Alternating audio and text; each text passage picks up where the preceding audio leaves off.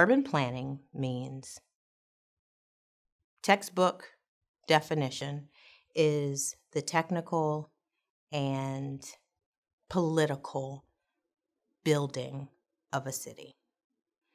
Um, the technical piece being the engineering of a city, the planning of a city, and planning encompasses a lot transportation, um, architecture and design, um, public office, dealing with your city councilors and the state and the city.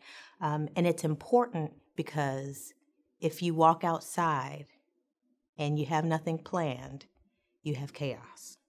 So, as an urban planner or the industry in itself is just to plan what it is you walk outside to. So it's planning the buildings, it's planning the roads.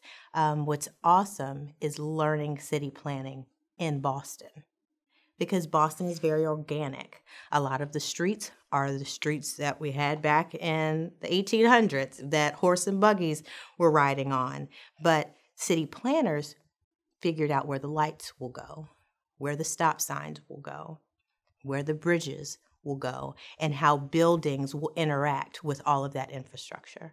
So, as why it's important is because you need to make sure that you know where to drive, you need to make sure you know where to walk.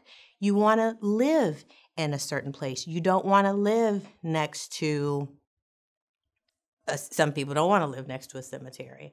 And if you have a neighborhood of people who say, I don't want to live next to a cemetery, your urban planner will say, okay, it's time for another cemetery. Where will we put it? We won't put it next to this residential area. We'll put it next to an industrial area.